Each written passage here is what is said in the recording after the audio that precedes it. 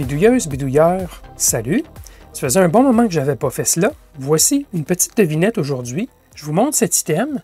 C'est une boîte faite de bakélite, donc euh, matière phénolique. Et euh, visiblement, il y a un ajustement ici sur le dessus, euh, découplé. Donc on peut le rouler comme ça ou on peut le tourner ici avec un découplage pour ralentir le mouvement. Qu'est-ce qu'on a aussi? On a ici une base d'ampoule et tout ça est connecté ici jusqu'à, je vous dirais, un support isolé en céramique. Il en manque un morceau, visiblement. Ça a été cassé. Alors, ça, c'est l'extérieur. Donc, il y a deux contacts ici, isolés.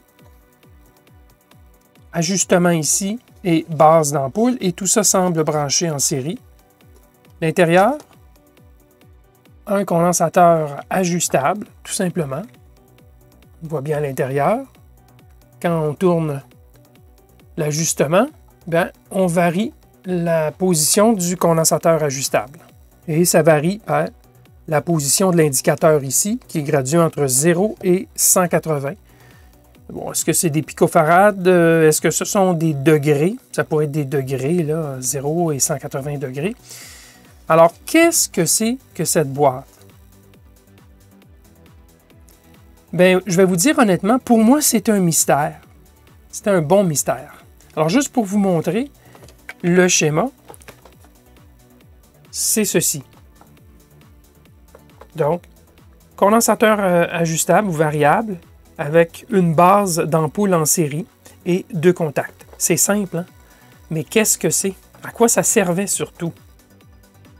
Moi, j'avais deux hypothèses. La première hypothèse, c'est que c'était... D'abord, c'est très antique, on s'entend, c'est de l'Antiquité. Juste par la patine, on le voit là, que c'est très vieux. C'est très vieux. Euh, années 20, 30, 40, certainement. Alors moi, j'ai émis deux hypothèses et puis euh, on m'a contredit. Bon, c'est de la radio, ça c'est clair. OK? C'est pour de la radio. Moi, je croyais que c'était pour syntoniser un émetteur. Et euh, par exemple, euh, la base d'une euh, antenne, d'une boucle magnétique, on doit la syntoniser. Et je me suis dit peut-être c'était effectivement un, accordeur, donc un syntonisateur d'antenne. C'était une des possibilités. ça aurait pu être aussi un syntonisateur d'antenne, mais externe avec l'antenne qui arrive ici. On lui visse une bobine ici dans la base d'ampoule. C'est une base qui aurait pu servir bien sûr à autre chose qu'une ampoule. Et euh, tiens, on fait notre ajustement de l'émetteur. Mais par la suite, j'ai regardé l'espacement des, euh, des, lamelles ici sur le condensateur. Je me suis dit non, non, non, non, on ne peut pas mettre de la haute tension là-dessus d'une émission.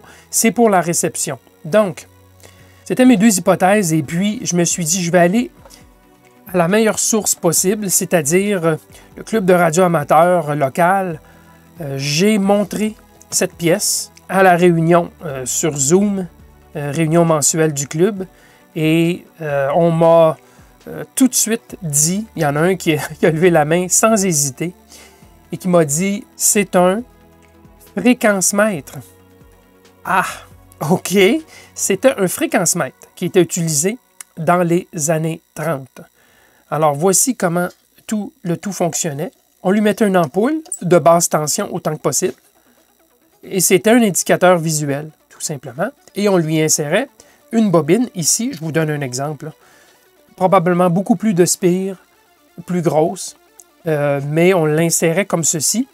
Et on approchait le circuit de la ligne de transmission ou de l'émetteur. Et on syntonisait pour maximiser la lecture de l'ampoule, ce qui mettait le circuit en résonance série et donc, on avait euh, ici euh, impédance minimale, donc courant maximum, et donc l'ampoule brillait à son maximum. Et on prenait la lecture ici, et on devait probablement utiliser une charte ou une table de référence, de correspondance entre la lecture ici et la fréquence. Alors, ça date vraisemblablement des années 30, euh, probablement la fin des années 30 ou en tout cas au milieu des années 30. Et toute station radio amateur était tenue de savoir à quelle fréquence euh, elle émettait. Et donc, c'était avec ce genre de fréquence mètre qu'on pouvait déterminer euh, la fréquence d'émission, tout simplement, avec bien sûr une justesse très approximative, mais quand même, tout cela fonctionnait quand même euh, pour nous donner suffisamment de justesse sur la mesure de fréquence. Et je ramène le schéma ici. Et donc, on avait une ampoule comme ceci et on avait une bobine comme ceci. Donc, fréquence mètre passif, résonance série, courant maximum puisqu'impédance minimum, euh, lorsqu'il y a résonance d'un circuit euh, LC série, et l'ampoule ben, brillait à son maximum à ce moment-là. Tout simplement. Fallait y penser. Mais ça m'a euh, chicoté vraiment pendant un, bon bout de temps pour savoir qu'est-ce que c'était que cette chose. Alors là, vous avez la réponse. Une belle petite pièce. C'est sans contredit ma pièce la plus âgée. donc, vraisemblablement des années 30 et pas après. Parce que les quartz, tranquillement, ont commencé à arriver et la nécessité de mesurer euh, la fréquence de façon approximative devenait de moins en moins euh, euh, pertinente. Il y avait des, fréquences mètres plus justes qui fonctionnaient aussi à résonance, mais disons que la Deuxième Guerre a amené beaucoup de technologies de mesure de fréquences plus justes. ce qui donne un petit peu la puce à l'oreille, c'est pas les années 20 par contre. Euh, ou même peut-être le début des années 30, c'est le type de condensateur ici euh, ajustable. Juste la construction interne, euh, la, façon, la façon que c'est monté ici avec des petits isolateurs et tout, ça semble un peu plus moderne que les années 20. Là, Donc c'est probablement dans les années 30. Peut-être le début 40, mais d'après le radioamateur, c'est fort probablement des années 30.